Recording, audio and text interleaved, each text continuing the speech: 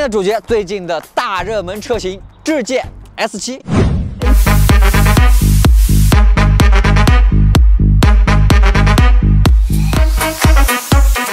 我知道你们馋这台车很久了，后台有很多人在私信我呢，想看智界 S7 的评测。那今天就给你们安排上。哎，佳佳，我们今天的任务是什么？吃美食，看美景啊！啊，我说的是车啊，你怎么就记得吃的？车呀！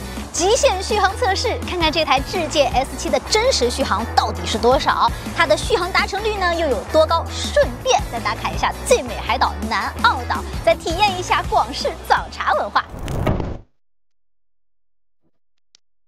好，现在车已经充满电了啊！我们这台呢，智界 S7 它是一个中配的版本啊，官方的 CLTC 续航呢是七百零五公里，但是我现在看这个充满电仪表盘上呢显示综合续航里程已经是超过七百六十多了啊，呃，所以我们今天来看看它的实际的达成率能达到多少。那这台车呢，现在我们先把它调节到一个经济的驾驶模式，呃，智界 S7 它和我们的华为手机一样，是提供了一个。超级省电模式啊，很有意思，它是会限制部分功能来实现这个续航里程的提升。但是呢，因为我们今天尽量模拟这个日常的使用场景，可能会用到一些驾驶辅助功能，所以我们就打到这个节能模式，然后开启加碳板模式。然后空调呢肯定是要正常用的啊，我们把温度调节到二十三，嗯，风量打到两档。因为我们今天基本上全程高速啊，所以等会儿在高速上咱们就保持一百公里每小时的时速巡航。OK，马上出发。我们先直接导航到汕头南澳岛。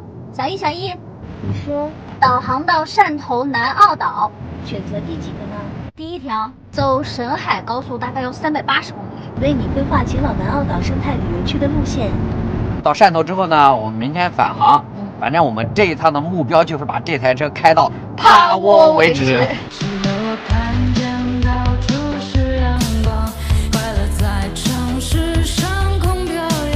们这台智界 S7 啊，是一台后置的单电机版本啊，它是后驱的。虽然是单电机，但是它的动力很强，它有两百九十二匹的马力。好，我们来踩一脚试试啊。哇，我们这个还是在节能模式啊，你感觉怎么样？哇，说实话挺快，挺有劲儿的，比什么宝马五三零这些二点零 T 高功率的燃油车要快很多啊！它的零百加速啊，单电机已经是达到了五点四秒，你更不用说顶配的双电机版本，那个三点三秒开起来啊，那就更刺激了。那这台车呢，它除了实现像一些 L 二级普遍的自适应巡航，还有这个车道保持之外呢？还有一些更高级的玩法，我带你体验一下啊！智驾领航已经活。那首先啊，我来演示一下，就是我先打个转向灯，看它怎么处理。好，来，哎，怎么样？它自己变。我没有转方向盘哦。可以可以可以。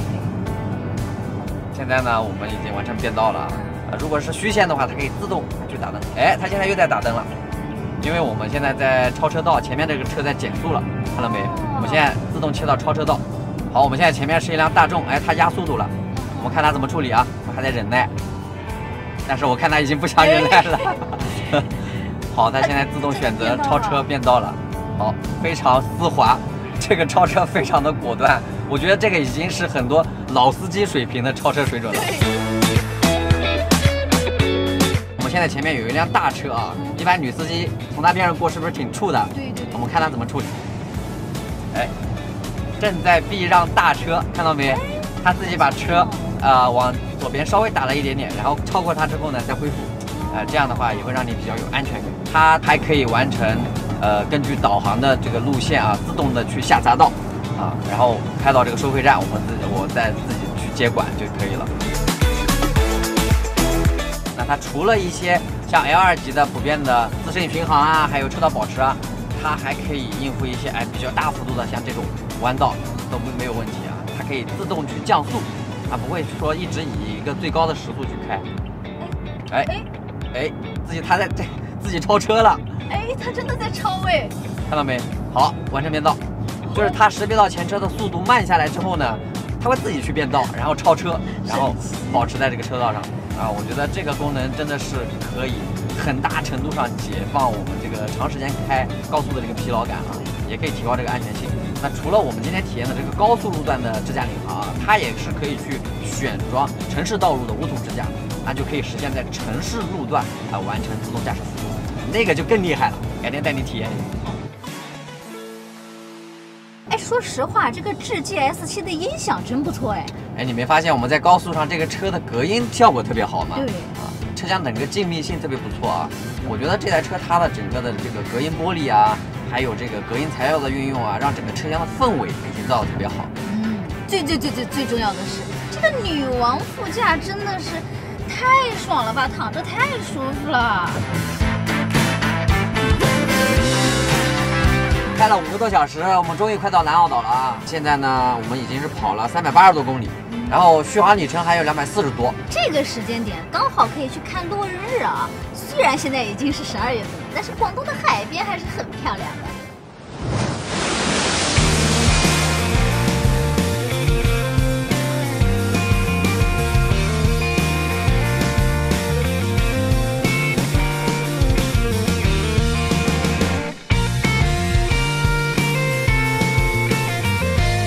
抵达南澳岛之后，我们决定在南澳岛休整一下，明天早上接着出发。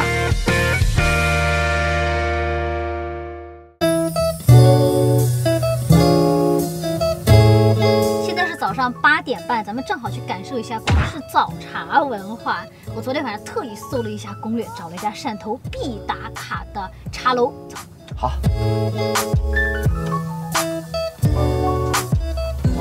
这台智界 S 七它虽然是一台长度接近五米啊，是一台中大型轿车了，但是开在这种哎走街串巷的路里面，你没发现哎其实挺灵活的啊。对。因为我发现它的转弯半径其实很小，哎，我们马上来掉个头试一下啊。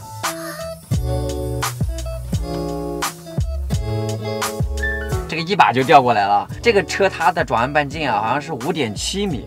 已经是很多中型轿车它的这个转弯半径，所以再配合它这个电机，哎，很线性的这样的一个加速体验，我觉得特别适合这种走街串巷的这种开啊。对，还有一个地方大家肯定比较关心的呢，就是底盘，它的顶配呢是有空气悬挂和 CDC 电磁减震器。这一台车呢虽然是普通悬挂，但是坐着也很舒服呀。你知道华为给这个底盘起了个什么名字吗？叫图灵底盘啊，听着是不是就很智能啊？它的这个前双叉臂和后五连杆的这个悬挂组合，其实本身的这个操控性和舒适性啊就很不错。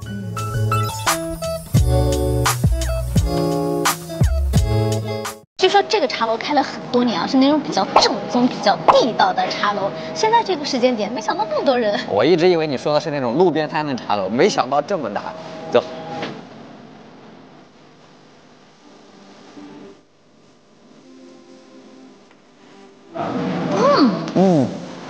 他这个里面好像是笋的。哇，好梦哦，龙想法，这趟广东没白来啊！这个广式早茶真的是名不虚传，真的好好吃。体验过正宗广式早茶之后，我们开始返程继续测续航。哇，终于快跑完了啊！现在已经跑了五百二十多公里，续航里程现在还有七十公里。好，那我们现在下高速啊，继续跑。直到跑到跑为止。哎，刚刚呢，这个续航里程上面已经显示百分之零了啊，但是我们现在还能跑啊，只是动力好像稍微有点限制了。那我们继续跑，我来跑趴窝。哎哎哎，好像踩不动了，踩不动了，终于是趴窝了吗？天哪，终于趴窝了！来，我们看一下啊。啊，车还是有电的啊，这中控屏也能用。这台车它的官方的 CLTC 续航里程是七百零五公里。嗯，那我们现在是总共跑了五百八十三。嗯，然后我们算一下啊，总的续航达成率呢，大概是在百分之八十二点七。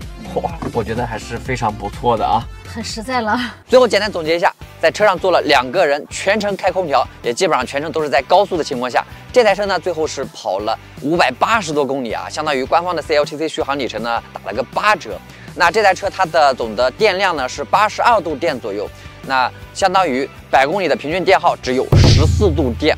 还是非常实在的啊！这个耗电量在我们测试过的多款中大型轿车中，仅仅是略高于特斯拉 Model 3，而智界 S7 呢，要比 Model 3轴距更长，测试的气温也更低。如果是在城区开的话呢，相信它的电耗还能再降一点。那智界 S7 它的这个续航表现啊，你们觉得怎么样？一起聊聊吧。